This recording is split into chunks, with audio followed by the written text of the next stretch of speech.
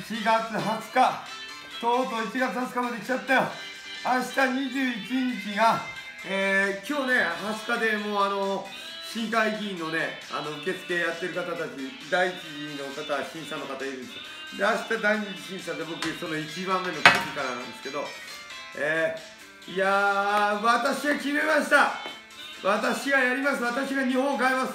私がやらなくて誰がやるんですか。日本を明るくしますこれ星だよ星。星星。星。星星。わかります？星星星。もう日本のスター星。星ですよ星。私がやります。日本を明るくします今日のファッションはスターです。スター日本のスターは俺だろもう俺が明るくするしかねえよこの日本を。みんな暗いよ。駅で挨拶してても。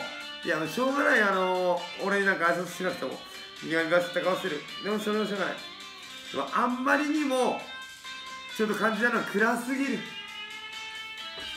ね笑顔あの笑顔になってくれと挨拶してくれって話ではないですよ。でもね人生一回きりタイムイズマネーじゃないタイムイズライフなの時間なんですよ。人生は。いかに自分らしく生きて何回笑えるかだと思うんですね。違います？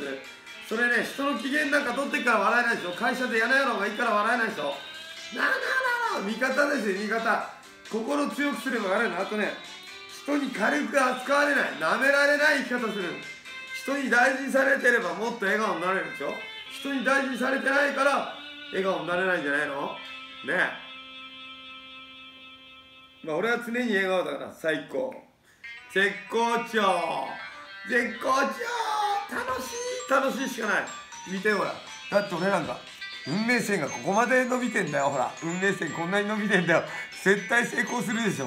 はあもう無理やり運命線伸ばしなんだ入れ墨で俺は無理やりやっちゃうタトゥーで。タトゥー人生だはあさて私がこの入れ墨野郎がバッジをつけることができるのがバッジつけたらもうは日本初の入れ墨議員イエーイ日本に旋風を吹き込まます。で日本を明るくします。だ必ず僕はバッジつけるしかないです。意地でもバッジつけます。で4年後国会議員になります。必ずその計画ではまずこれ今回絶対バッジをつけないと。国会議員になれない。そんでニュースになって世の中を変えます。世の中に真実を伝えます。人生は一度一度きりです、えー、笑ってた方がいいです。笑ってた方が楽しい人生になるです。だからつまんないことがあっても笑いましょう。はーはーはい。笑ったもん勝ちだよって昔からの言葉あるんで笑う方には福来たる。笑って許してください。あはは笑っちょんまげあれ？